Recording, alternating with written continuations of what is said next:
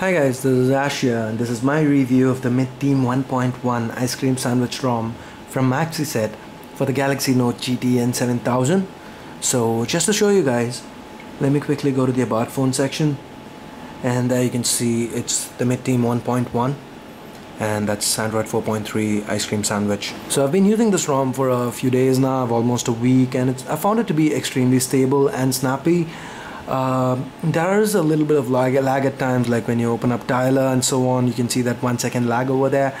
Uh, but you know overall it's a very stable ROM. Uh, most of the features you know that have not been working with previous edits like for example in previous versions of the Midnote ROM when you turn off Wi-Fi and you actually turn it back off and try turning it on again it tends to crash or not work. Those kind of issues have been fixed. And we used to have an issue with Bluetooth or the AVRCP part of Bluetooth wherein when you use a Bluetooth headset, uh, you know, you might not be able to pause or play music, and those issues have been taken care of as well. And similarly, like uh, for example, when you're testing out, when I'm testing out, you know, the message messaging, and I send a message to myself.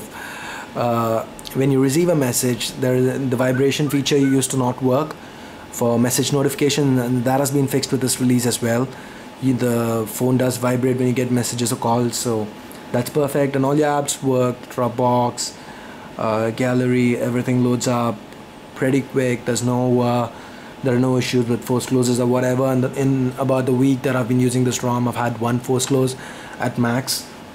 Uh, all your ice cream sandwich features work well. You can just you know swipe stuff throw it off to close it. Uh, it works. And the same thing when it comes to uh, notifications as well. Just swipe to close it and it works pretty well. Uh, well apart from that guys the, the quick dial feature has been fixed as well. Uh, you can just uh, type on the letters of a contact and you can you get the contact details so that works fine. On the on the downside you know there are still some chinese characters that show up once in a while uh, like for example with calendar. And the same way when you're making a call uh, some chinese name might be displayed these are parts of you know the base being uh, a leak. So this is how it is right now. Hopefully in future releases we can see these being fixed. Uh, so you know for those people who who actually think you know the numbers mean something let me quickly run a full benchmark. So let's run a benchmark and see how mid mid team 1.1 fares so you got the results there guys. Uh, the phone is hitting around 3869 on benchmarks and that is a pretty decent around what you get with uh, the Galaxy Note most times. So for those uh, you know who need these numbers to compare with other ROMs and stuff this is what you get. Uh, and again most features work fine. The Play Store works. And since this is a TouchWiz based ROM unlike you know AOSP ROMs like Stunner all your all your TouchWiz features work as well. Like for example double tapping using the S Pen and the button opens up S Memo. And you can just write whatever you want because forever. And uh, similarly pressing and holding with the button pressed gives you a screenshot and your S Pen functionality like you know when, when there's little pressure you get thin lines and more pressure thick lines. That is you know in other words the pressure sensitivity still works.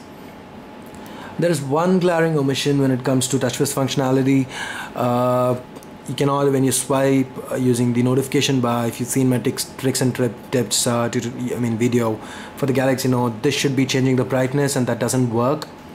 And uh, just to show you guys I'm, I don't have automatic brightness enabled. It's disabled and still uh, the notification slider cannot be used to change brightness settings. That is one place where I see TouchWiz not working but apart from that it's a great rom guys. It's it might not be the fastest around but but i definitely say this is the best rom when it comes to ice cream sandwich and touch TouchWiz together and the camera works fine too. No issues. Take pictures 8 megapixel 1080p videos no issues whatsoever. Uh, guys one more small issue that i ran across uh, with chrome beta uh, is that with Chrome beta, you're not. I'm not able to view any Flash content or you know my YouTube videos for that matter. This is what it says.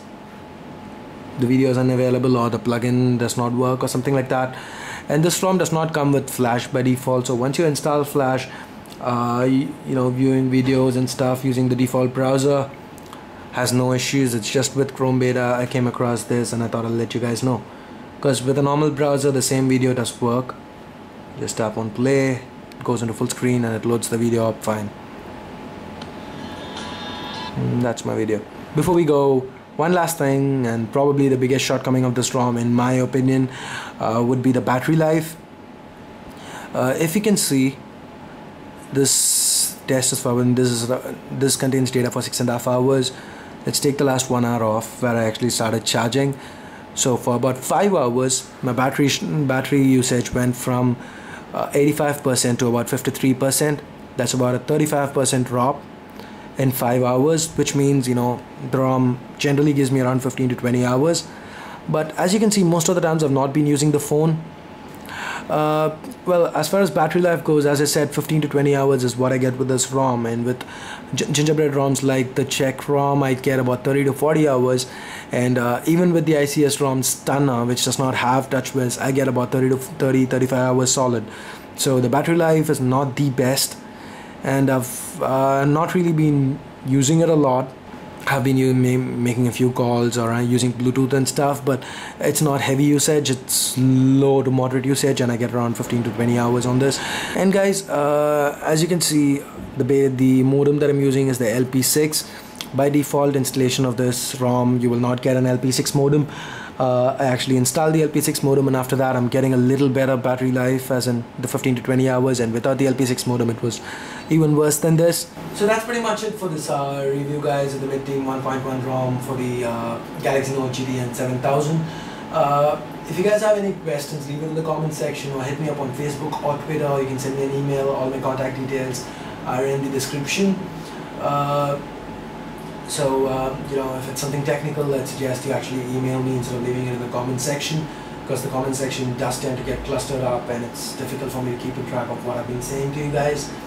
Uh, so that's pretty much it. As far as the Mid-Team 1.1 ROM goes, like I've said multiple times in this review so far, it's very stable and it's a very, very decent ROM. I would definitely suggest you use it, but keep in mind of the battery aspect of this as well. Uh, so once again, that's pretty much it guys. Thanks a lot for watching.